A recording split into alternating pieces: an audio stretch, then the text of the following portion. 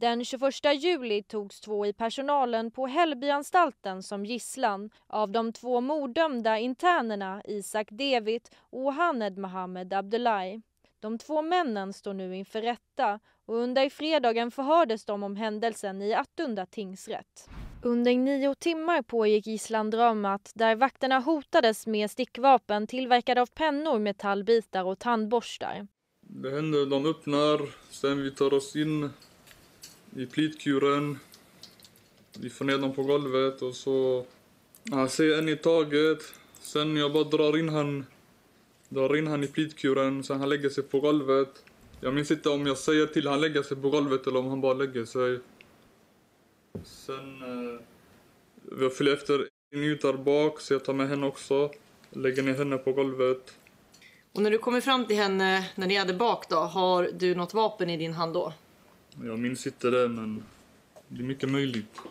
De båda mördarna ska bland annat ha hotat att skära halsen av vakterna enligt åtalet, men det är något som varken Isak Devit eller Haned Mohammed Abdullahi erkänner. Ja, alltså, jag sa bara backa undan alltså, annars det kommer bli krig alltså. Mm. Ja. Säger du någonting om att, om att du ska skära halsen av målsägarna? Ja, jag sa alltså någon kommer skada alltså liksom. Jag sa inte alltså liksom jag kommer skära i halsarna som målsägarna. Vem vet alltså, det kan hända mot dem alltså. Det kan hända att du sagt så, men du... Om de hade försökt att komma in och 32-åriga Alexander var en av kriminalvårdarna som togs gisslan och i en intervju med Expressen berättar han om skräcktimmarna.